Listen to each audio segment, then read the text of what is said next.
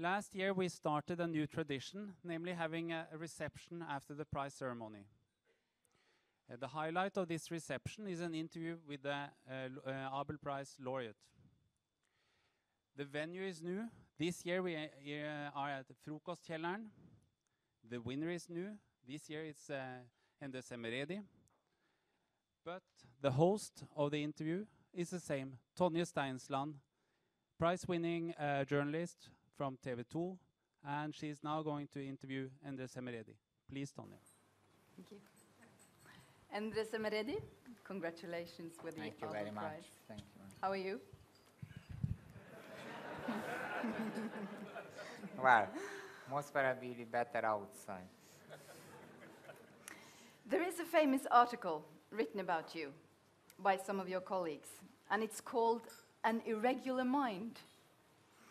And it claims that you somehow, your brain is wired up differently than many others, and you are able to see patterns, order, where everybody else just see, seem to see chaos.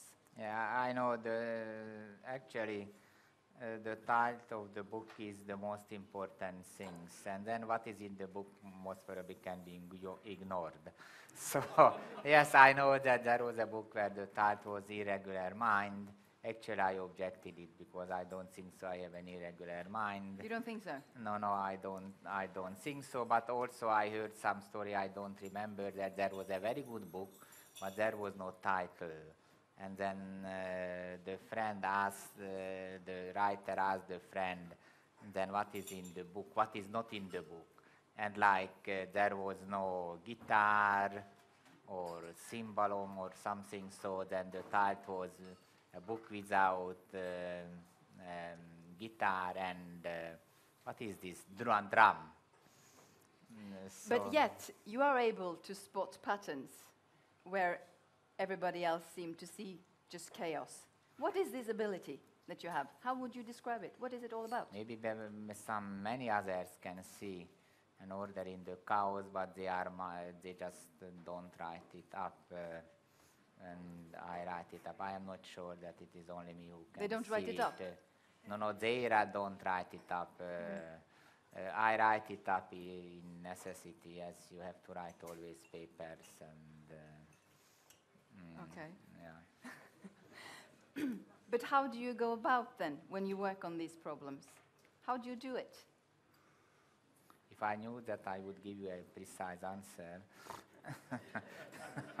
But the the, point is that you start. Uh, I always choose a problem which I like without. Uh, of course, sometimes, uh, you choose a problem which is famous because all of us have some ambition and then like to solve something uh, uh, important, or if you are actor, you of course wants to have the main. Uh, A great part.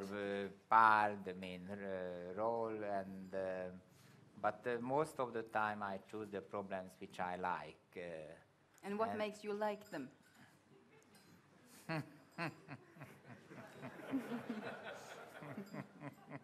Well, I could ask a question and then, then, if you asked a boy, what makes them like this girl and not the other one? So, what makes me like? I just like uh, one of the some of the problems. And if you work on mathematics or in any other subjects, the sooner or later you just acquire some taste, which is your own taste, and then according to your taste or judgment, you decide then you like this problem or you don't like this problem.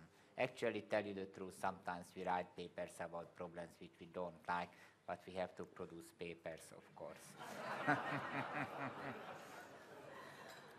We are constantly told that great achievements requires an early start. If you want to become something in life, you have to start from this young, and uh, continuous hard work, that is the key. But mm. when you were a child, you were just fooling around in Budapest playing soccer, and were just an ordinary boy.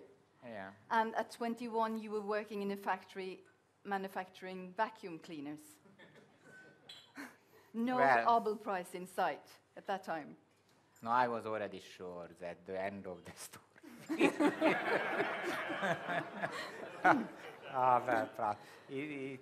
Well, it was just uh, to hide the real intention. But No, actually, uh, be serious. Uh, I never wanted to be a mathematician. I wanted to be a soccer player, but I was too short.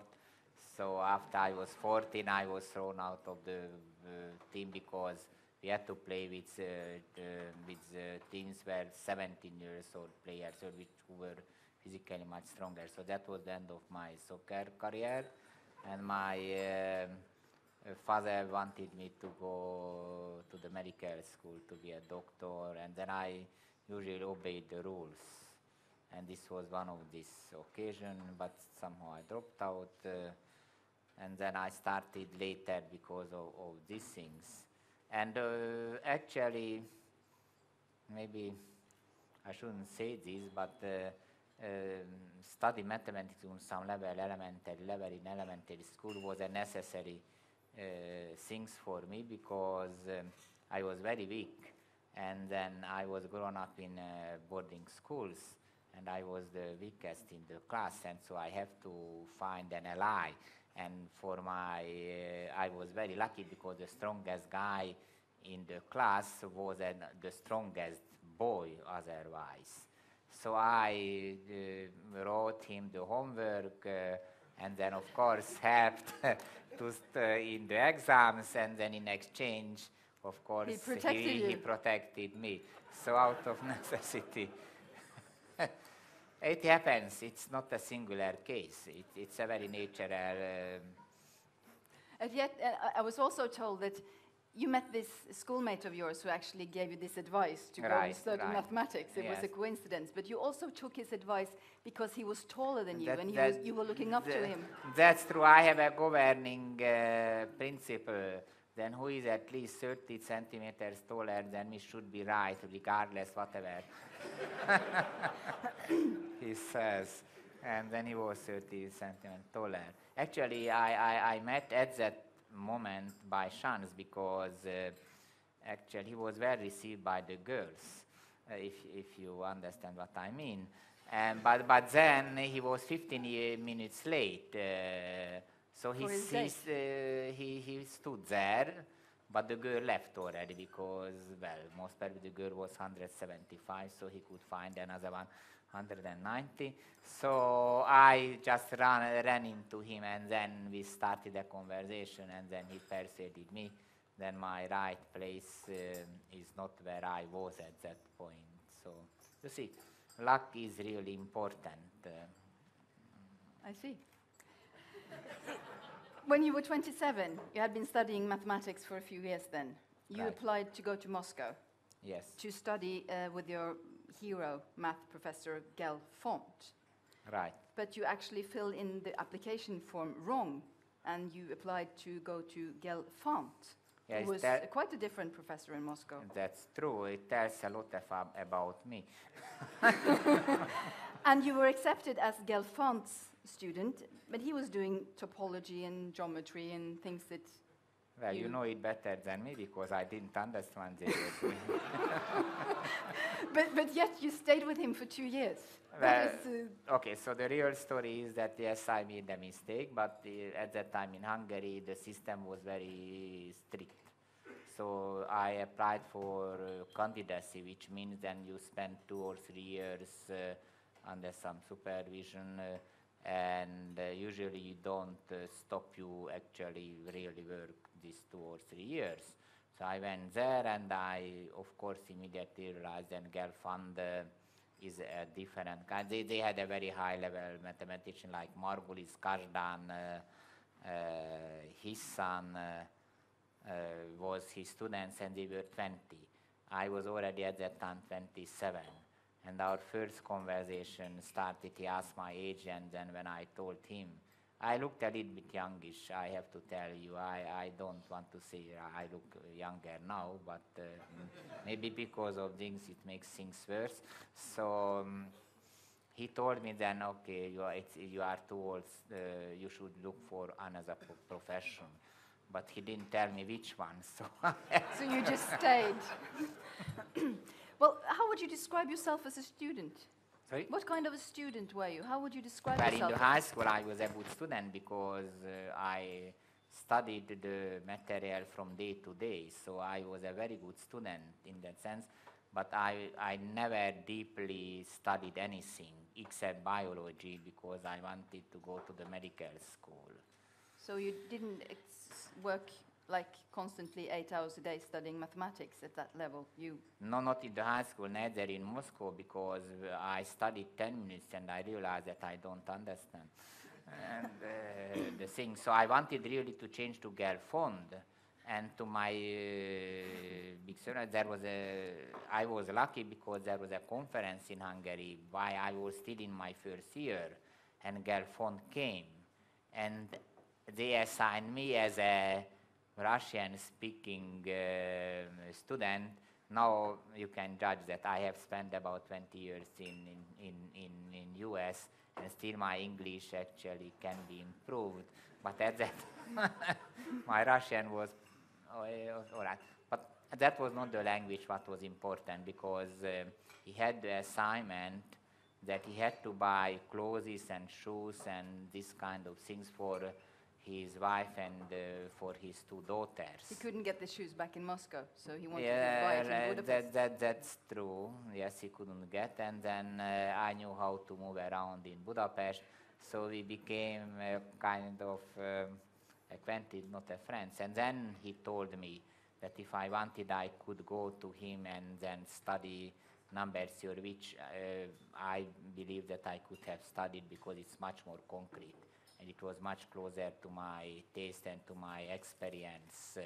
But unfortunately, in after two months, he died of heart attack, so I had to stay with Gelfand. I was uh, coward enough not to stop and go home because it's a little bit shameful that you uh, you stop at halfway. So, and Gelfand agreed that I can do whatever I want, meaning that I can write a dissertation from combinatorics. And I remember that I had to pass an exam, and Gelfand was very famous that in every, well, not only as a mathematician, but he has this Gelfand seminar where all these big shots were there. Uh, there are a lot of mathematicians here, so they know all Manin, Anson, Anson Arnold, uh, all so the big ones. And then I had to present one of my results. Uh, that was the rule, uh, and uh, just to getting the degree. And then I started, and then in 10 minutes, one, one of these big ones came to the board, erased, and gave a short proof. Then another one gave. I, I told him, okay, maybe this is not enough time, then I can judge your solution. It looks elegant, but maybe there is a hole in it. So, of course, I didn't want to tell me then it's, it's plain stupid. I mean, you really have to be mm, polite uh, toward these great mathematicians. And then the next one came, and the next one came, next one. Of all of the solutions were. I worked two hours, two years on the on the problem. They were, of course, much cleverer, but had a little bit less experience in combinatorics.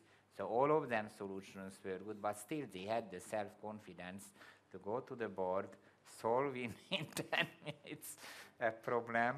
So you see, this is some of the things that discrete Okay. mathematics at that time was not considered to be part of mathematics because all these guys uh, believed that in 10 minutes you can. You are one of very few people in the world, I believe, who actually have made an abstract vision of the structure of the internet. And your famous regularity lemma has been a great inspiration to scientists within the field of theoretical computer science. How do you feel about computers yourself? Well, well, uh, I don't mind if there is a computer in the room.